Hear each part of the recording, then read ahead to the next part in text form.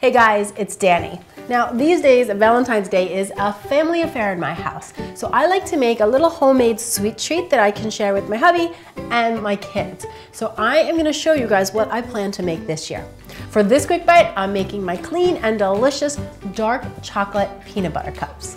So the first thing you wanna do is measure out your chocolate and you're gonna need four ounces of dark chocolate. Now, it's a little bit more than that, but that's just fine. Then you need to set up your double boiler to melt your chocolate down. Just put a couple of inches of water in the bottom of the pot. Turn the heat on, let that water come to a simmer. Then place a glass bowl on top of the pot and add your chocolate in. And then I like to just give it a stir every couple of minutes to help it melt down. And now if you wanted to take a shortcut here, guys, you could also take your chocolate and melt it in the microwave for a couple minutes. Once your chocolate is all melted down and smooth and velvety, you are ready to start assembling your peanut butter cups. So you wanna buy these little candy cup holders. They're like cupcake holders, but even smaller. And then you're gonna drizzle about a teaspoon of the melted chocolate right into the cup. Then you wanna use your spoon to gently push the chocolate up the sides of the liner. The goal here is to create a little chocolate candy cup. Continue doing that till you're done with all eight peanut butter cups. Now, I'm just gonna pop this into my freezer and let them set up for 10 minutes. And while they're doing that, I'm gonna mix together my peanut butter mixture. I've got two tablespoons of peanut butter. Now, should you or anyone in your family have a peanut allergy, you could easily swap in a little bit of almond butter or even a sunflower seed butter. Two teaspoons of coconut oil, and then a little more than a tablespoon of confectioner's sugar. Gonna mix that all together and set it aside.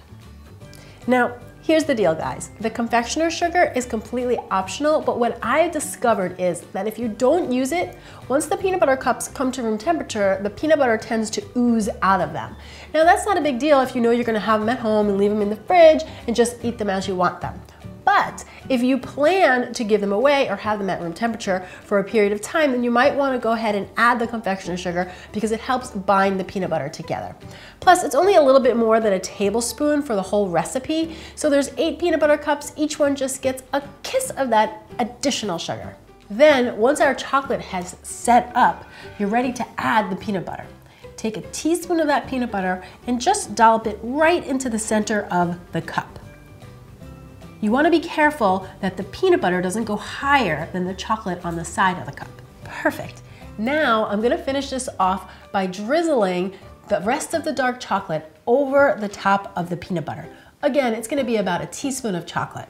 And just for fun, if you can get yourself a fun little Valentine decoration or sprinkle, those are really festive to put on top. I found these really cute pink hearts.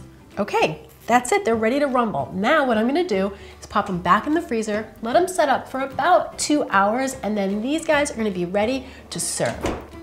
And then once they're all set up, they are ready to be taste tested. You just wanna make sure to take off this paper lining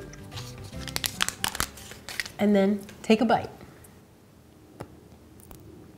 Mmm. Mm -hmm. The rich dark chocolate with the creamy peanut butter this is a classic, but it is so much better with the higher quality ingredients and made with love.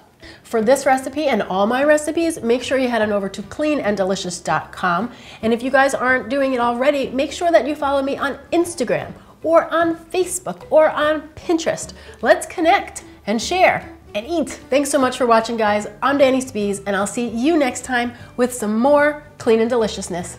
Cheers! Now, if you wanted to take a shortcut here, guys, you could do it in the microwave. Now, if you wanted to take a shortcut here, guys, you could also just take a glass bowl and pop your chocolate in the microwave for a couple of minutes. So just do the best you can and have some fun with it. Have some fun with it.